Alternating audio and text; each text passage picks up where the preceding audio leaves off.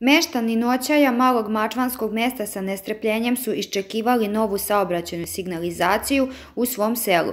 Velika frekvencija saobraćaja odvija se u noćaju, a signalizacija u vidu brzinskih displeja, znakova i vibracionih traka sada će podići nivo bezbednosti pre svega dece jer je postavljena u zoni škole. Primetio sam da ne obraćaju vozači pažnju na to, a nadam se da će primetiti i da će obratiti pažnju prvo zbog škole, što stvarno je raskrsnica, znači frekvencija saobraćaja je velika.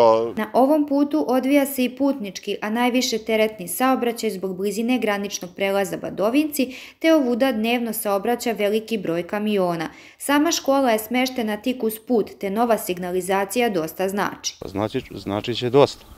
Mi smo duži period tražili da se ovo postavi da se uradi. Sad je konačno urađeno kako treba.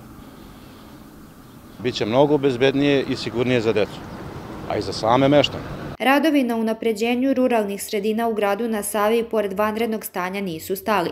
Grad Sremska Mitrovica obezbedio je potrebnu dokumentaciju i učestvovao u sufinansiranju sredstava u iznosu od milion i dvesta hiljada dinara. Grad Sremska Mitrovica je obezbedio projektnu dokumentaciju, e, konkurisao za sredstva, e, učestvovao u sufinansiranju projekta, postavljanje, postavljanje saobraćene signalizacije, čija je vrednost milion i dvesto hiljada dinara a najveći deo sredstava je obezbeđen od strane pokrenjskog sekretarijata za energetiku, građevinarstvo i e, saobraćaj. Ovim je rešen višegodišnji problem meštana noćaja, a najmlađi noćajci sa povratkom u školske klupe na putu do škole biće bezbedniji.